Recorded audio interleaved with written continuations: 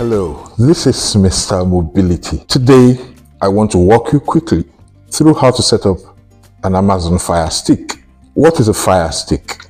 Fire Stick is a product by Amazon that is very similar to Google's Chromecast. It does pretty much what Chromecast does. It helps you to convert your regular TV into a smart TV by plugging in, providing internet access and apps and services that allow you to stream and watch a wide range of movies and TV shows. Unlike Google's Chromecast, uh, with the latest versions looking like a flying saucer or a starship from Star Trek and all that. Amazon's Fire Stick looks like a flash drive. You know, just looks like something you plug into your PC uh, to copy files and all that. But it does the same thing. Now, again, like uh, Google's Chromecast, there are different versions. There's Fire Stick Lite, there's the 1080p Fire Stick, and then there is the 4K Fire Stick. All of this have to do with resolutions. By default, if you don't have a 4K screen, 4K TV screen, then the 1080p version is just fine for you.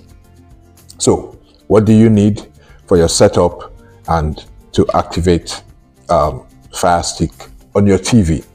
Of course, you need to buy your Fire Stick, buy whichever version you want.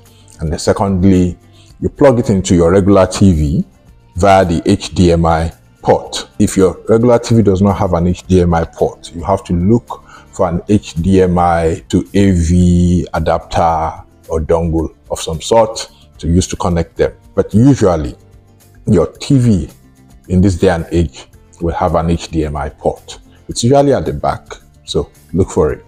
All right. Then you make sure that your home internet Wi-Fi is working because, like Google's Chromecast, this requires an internet connection as well. It requires Wi-Fi to work.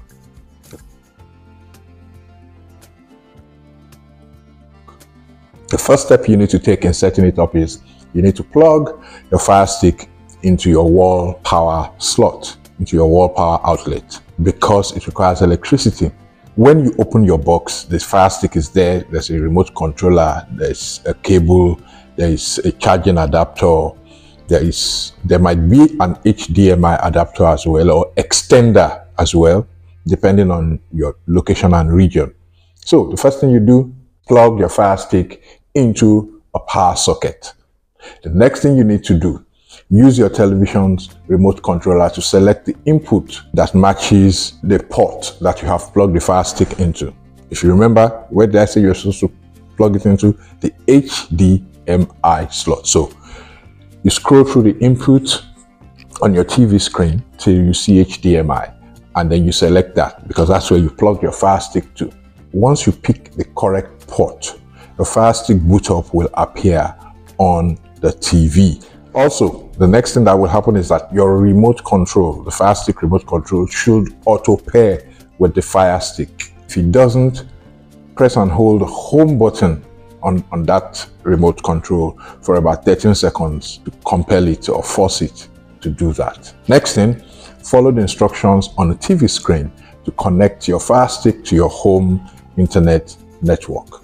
Once connected, navigate to the App Store, Amazon's App Store. On Google Chromecast, it's Google's App Store, but here it's Amazon's App Store. So at this point, you might also need to sign on.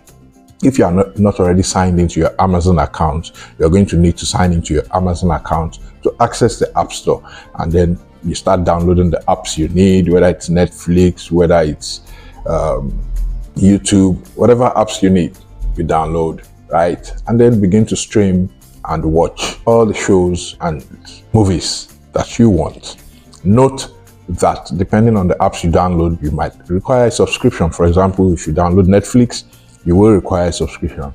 If you download Prime TV, yes, you require a subscription. If you download um, Showmax, you require a subscription.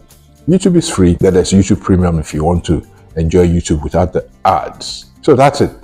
You have successfully installed your Fire Stick on your TV and now you can enjoy your shows and movies as you like. Let me know if you found that helpful. I'll see you again in my next video.